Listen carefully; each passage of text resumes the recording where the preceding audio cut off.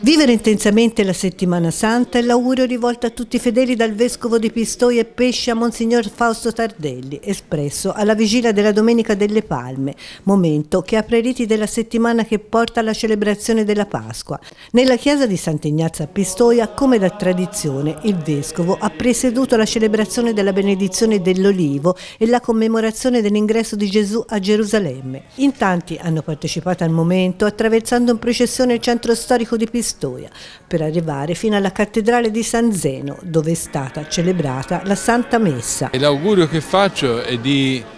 vivere possibilmente come, come, come può la gente ovviamente perché eh, è una settimana lavorativa quindi però viverla almeno interiormente o attraverso i mezzi di comunicazione, vivere tutti i momenti che questa settimana offre perché sono momenti di riflessione, sono momenti che ci fanno capire eh, le difficoltà della vita e il dolore che c'è nel mondo, ma che ci danno anche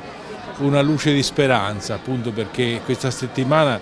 eh, è la settimana del dolore eh, che ha sofferto il nostro Signore, ma che poi Egli ha vinto con l'amore, risorgendo il terzo giorno. Quindi il mio augurio è di vivere come si può questa settimana riflettendo, pensando e soprattutto facendo rinascere dentro il proprio cuore la speranza al di là di tutte le difficoltà che viviamo sia personalmente che socialmente.